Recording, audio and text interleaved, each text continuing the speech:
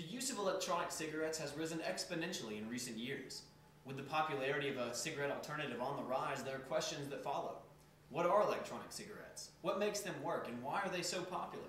To answer these questions and more, we spoke with Michael Glassick, owner of Vape City, a local vape shop in the Kennesaw area. It really is, with electronic cigarettes, you're firing an atomizer, which basically it's a heating element that sits on a wicking material. And as your liquid wicks up onto the ju- or onto the, uh, the wick, your atomizer actually fires it, it heats up, and it atomizes it and turns it into vapor.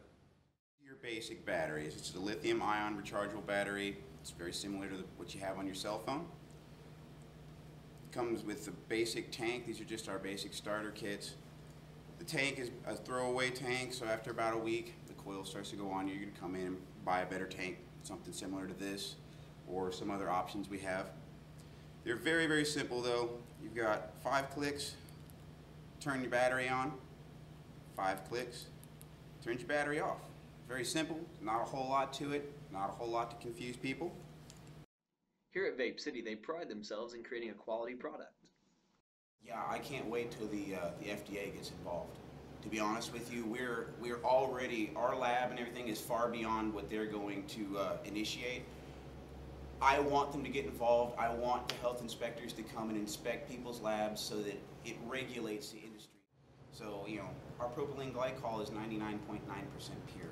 Our nicotine is 99.9% pure. Our vegetable glycerin is 99.7% pure. We literally, if we find something more pure, we move to it immediately. We don't wait because that's our thing. We don't make as much on our e-liquids as some other manufacturers because we don't buy ingredients to maximize our profit. We buy the ingredients to make the best the best liquid possible. With any form of smoking, there are health concerns for both the smoker and those around them.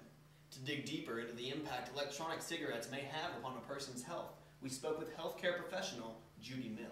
The chief officer of the American Lung Association has stated that there are no long-term or short-term uh, negative effects, with the exception of the fact that it is uh, does contain nicotine, which is addictive property. Just from the people that you pull that use the electronic cigarettes versus the actual cigarettes, the nicotine is one of the only chemicals in the electronic cigarettes versus the over 4,000 chemicals that are in the actual tobacco cigarette alone. So I think that um, you know if they got addicted to the e-cigarette, it might be a good uh, alternative for them. I think that they could use it maybe in place of the cigarette. So As the use of electronic cigarettes becomes more common, so does the acceptance of it as a tobacco alternative. So now, the decision is up to you.